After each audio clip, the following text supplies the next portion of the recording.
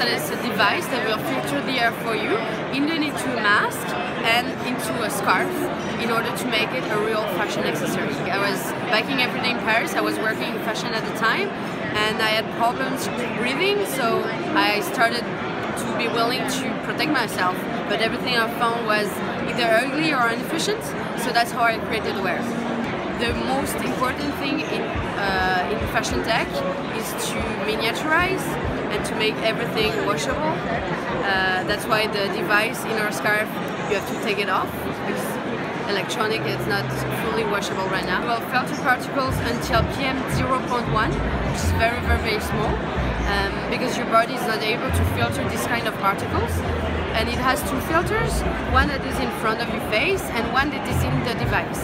And the, the, the purpose of the device is to avoid any feeling of suffocation or heat inside the mask. We, we specifically target bikers because they are uh, the one that are most um, um, touched by air pollution because they're right behind the cars. So um, will really help you uh, avoid all kind of pollution and will filter 99% of this bad air.